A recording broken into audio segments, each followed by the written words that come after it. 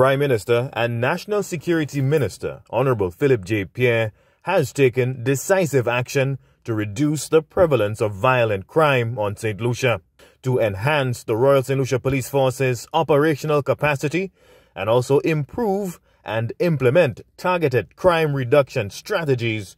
Honorable Pierre has successfully engaged the Regional Security System, RSS, who has agreed to provide direct support to the island's chief security apparatus.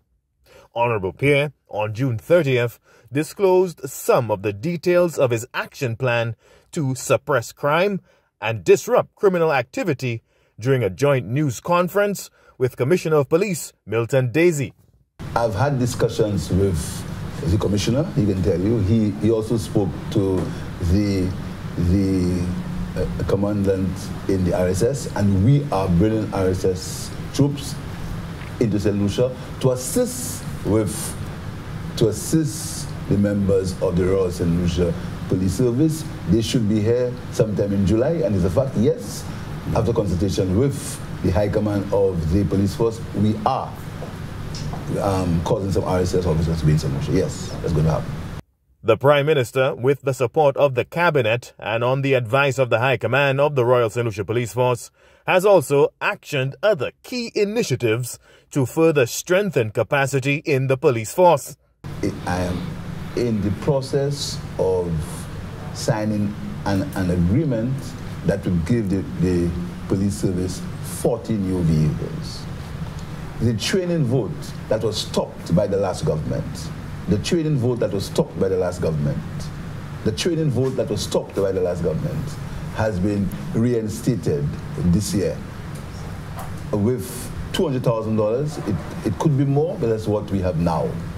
We, we have started a swift justice program. We have put in $2 million in the budget to, to reduce on the backlog of cases that exist in the system. Commissioner of Police Milton Desir explained a new gang investigation unit has been established to provide a targeted response to extract violent criminal perpetrators from communities and disrupt their activities. So we have to get the information as to how those firearms are coming in so that you could break it. Um, it is sometimes most likely that during the process, during that supply chain, whether it is a courier, um, whoever, uh, customs, uh, broke, the brokers, the, um, the shippers, somebody or more than one of those channels, there are corrupt practices in there. So we need to identify that. And once you could break one of those um, channels, then we believe we can we can safely dismantle the, um, the gangs. And um, one of the most crucial part of um, the anti-gang unit is our FIA, the Financial Investigative um, Authority, where they would be going at the assets of those persons who are committing the crime because crime persons committing commit crime for profit and once you have going after the profit, you have dismantled um, the gang, they would not have the funding required and also the assistance that they get. Honorable Pierre and the Cabinet of Ministers remain committed to ensuring citizen safety and continues to employ strategies, resources, and initiatives to assist the Royal. Lucia Police Force as well as the judiciary.